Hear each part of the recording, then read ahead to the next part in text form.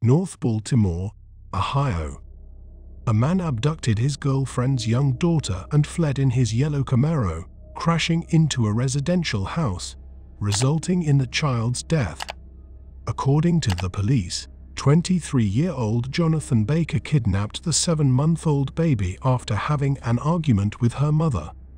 Before leaving, he told her that he wanted to commit suicide and would kill the child along with himself. Immediately after, the woman called the police. She also informed them that he was armed. The police issued a search warrant for Baker. A patrol officer then spotted Baker's vehicle, and a chase ensued, during which the yellow Camaro lost control and crashed into a residential house at high speed. The police officers broke the rear window of the Camaro and rescued the infant, who had blood coming from her head and was struggling to breathe. Both Baker and the baby were airlifted to the hospital, where the baby girl soon passed away, and Baker remains in critical condition. Don't forget to like if you found this video interesting.